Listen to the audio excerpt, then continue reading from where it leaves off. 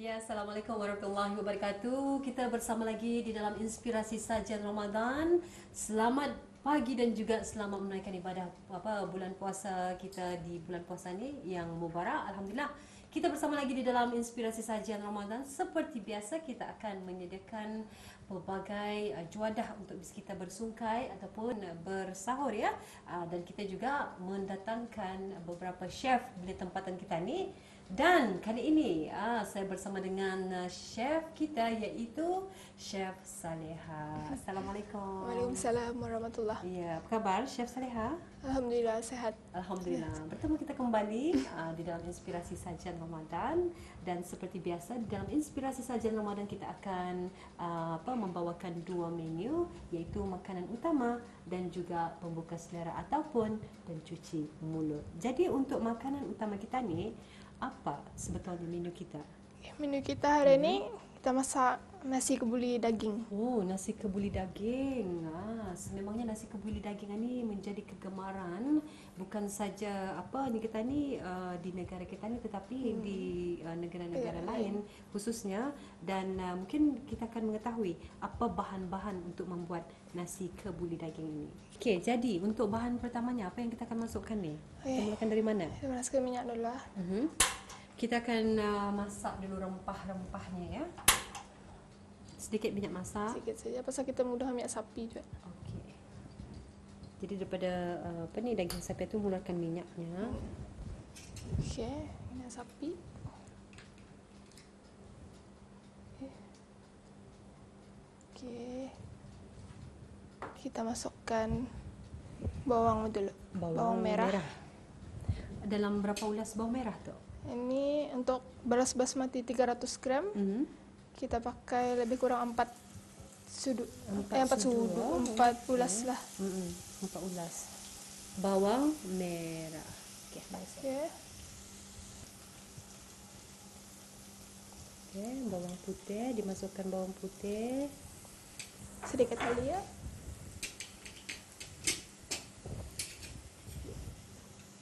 Jadi dia menggunakan macam rempah ratu seperti bunga lawang apa Oh. memang dah ada lah. Boleh juga. Boleh je tu. Okey. Okey. Ditumis ya dulu sehingga ia uh, garing ah. Hmm. Hmm. Okey, dimasukkan uh, tomato yang dipotong kecil. Ditumis dahulu dan kemudian kita masukkan Kita masukkan segala serbuk serbuk serbuk ketumbar. makan, ya. Serbuk ketumbar. Okey. Serbuk ketumbar, Mhm. sudu, Okey. serbuk jintan putih. Serbuk jintan putih. Biasa serbuk jintan ketumbar lebih daripada jintan manis jintan putih. Mhm. Okey. Hmm. Baunya pun wangi. Lepas kita Kita masukkan apa masukkan tu? daging. Daging yang sudah pun direbus tadi. Okey. Sama kuah airnya. Bersama dengan kuahnya, airnya. Hmm. Okey. Okey. Okey. Serbuk perasa, Sebab perasa sirap garam garam.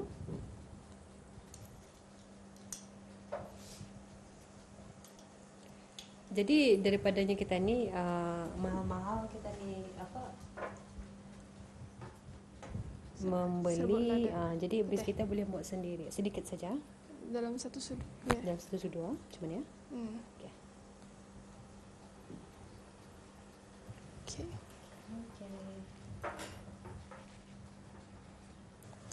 Kita masukkan Mhm. lada besar. Lada besar. Iris. yang sudah pun dihiris Bawang goreng. mhm Masukkan bawang goreng lagi ya setengah. bawang goreng ya okey Hmm. Okey sudah chef Okey. okey Okey. Kita masih boleh masukkan susu cair. susu cair berapa banyaknya ni chef Masak. semua Hmm. mendidih. Mhm. Sementara itu kita boleh masukkan berasnya ke dalam satu beras Nasi. basmati yang sudah pun Sudah direndam selama direndam. 15 menit. Oh, selama 15 minit. Jadi kenapa ya direndam selama 15 minit atau? Eh, kita rendam 15 menit itu motifnya untuk berasnya lebih panjang-panjang saja. Hmm. Itu antara tipsnya. Hmm. Jadi beras basmati itu di direndam Direndam ah, supaya biar panjang-panjang. biar panjang-panjang Lebih selama 15 minit. Dimasukkan saja terus. masukkan. Kalau tadi daging itu apa tuh? Kira masak sudah kah ataupun Kira direbus sudah. Boleh dimasak di sini di ah nasi beras sekaligus Oh. punya. Oke. Dagingnya. Yang satu nunggu dalam berapa minit nih chef?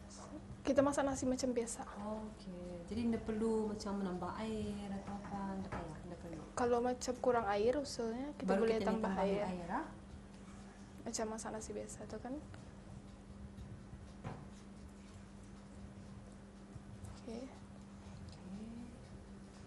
Ini macam boleh tambah air sedikit.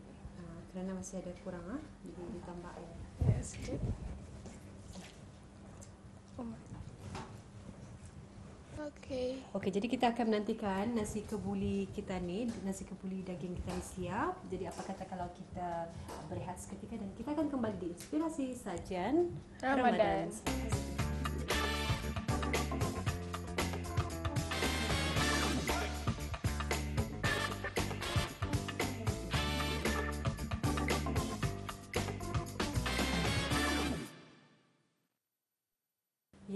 Alhamdulillah nampaknya nasi kebuli daging kita sudah pun siap dimasak. Jadi, apa kata kalau kita cuba cek? Oh, Hmm. itulah dia nasi kebuli daging. Ni Memang ni kita ni um, menyelerakan nah dengan apa nasi kebulinya yang cukup dengan warnanya. Uh, kalau merasa ah, biarlah masa waktu berbuka. Okey, baiklah kita akan masukkan di dalam um, tempat uh, namanya. menyimpan nasi. Oke. Okey.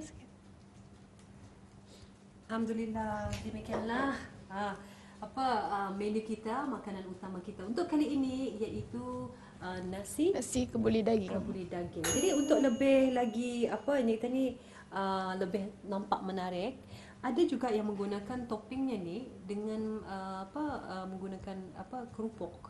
Oh, kerupuk. Menyimpan kerupuk ya. Ah, itulah terpulang habis kita untuk menggayakan makanan habis kita. Bukan saya menggayakan tapi ia memang uh, sedap dimakan bersama dengan kerupuk.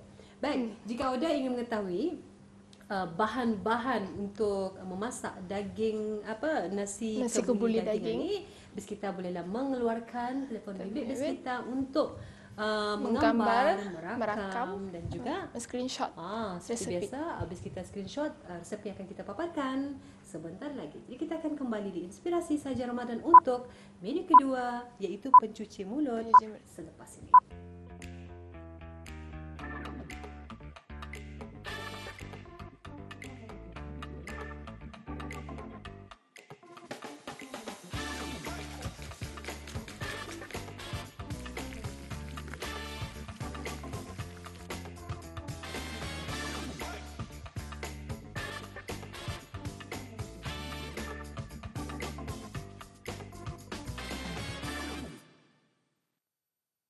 Kembali lagi kita di dalam inspirasi sajian Ramadan dan seperti biasa kita sudah pun siap ya uh, memasak apa menu pertama makanan utama kita ni iaitu nasi kebuli daging dan untuk ke apa yang uh, menu kedua uh, kita akan bawakan order satu menu lagi iaitu uh, bersama dengan chef Saleha. Apa menu kedua kita kita ni ni? Oke, menu kedua kita hari ini Mhm. cendol ku- kurma gula melaka. Cendol Kurma kurma gula melaka. Gula Melaka kan biasanya kita ni mendengarkan uh, cendol Cendol gula Gula melaka. Melaka, cendol apa? Hmm, Cendol biasa lah. Cendol biasa. Ah, jadi kali ini kita akan masukkan kurma di dalam bahan cendol kita ni yang sememangnya menjadi sajian yang sering kita sajikan di bulan Ramadan ini ketika berbuka puasa.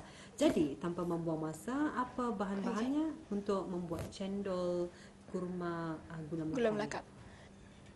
Okay, gula dulu. Dalam berapa sudu ni chef? Ikut citra segera ini kita pakai dalam satu sudu. Oh, satu sudu. Okey. Okey, di dalamnya sudah ada Boleh apa ni lebih. gula melaka. Boleh melaka, Mhm. kurma. Kurma sikit saja, satu sudu Ya. saja kan, Chef? Boleh kalau mau manis lagi boleh Ah, tambah. Okey, ada apa-apa kan? Sedikit saja. Ya.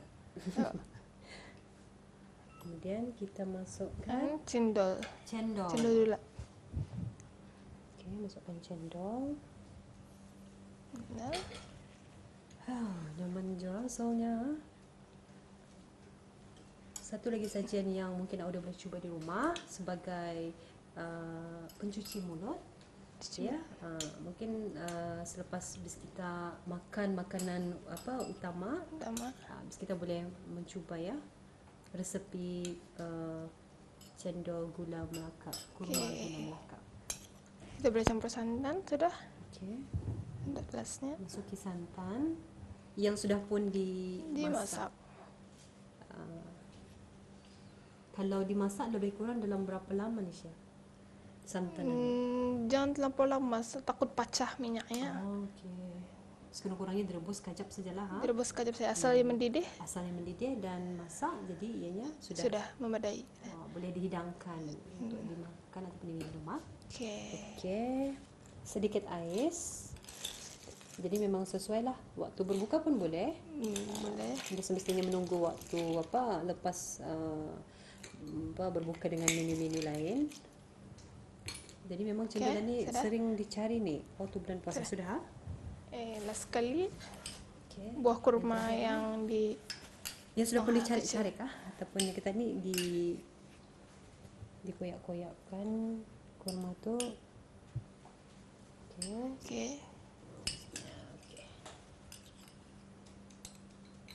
Wah, cukup mudah dan ringkas ah. Jadi inilah dia bahan-bahan yang telah pun kita sudah uh, satukan ya kita ni dan menjadi uh, cendol apa kurma, Kurma gula melaka. melaka. Jadi bis kita yang berminat untuk mencuba bahan-bahannya akan kita paparkan. Jadi jangan lupa untuk melu- apa mengeluarkan Telefon bimbit. bis kita untuk Menggambar. menggambar, merakam dan juga screenshot screenshot. Jadi uh, udah bolehlah uh, menggambar sekarang. Uh, selepas ini kita akan paparkan bahan-bahannya. Jadi kita akan kembali di inspirasi sajian Ramadan selepas ini.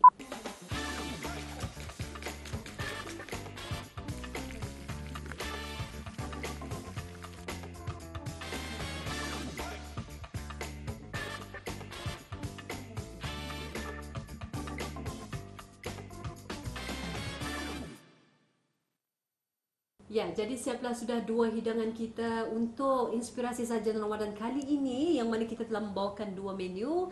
Uh, satu makanan utama iaitu nasi Kebuli daging. dan juga yang kedua tadi iaitu pencuci mulut ya.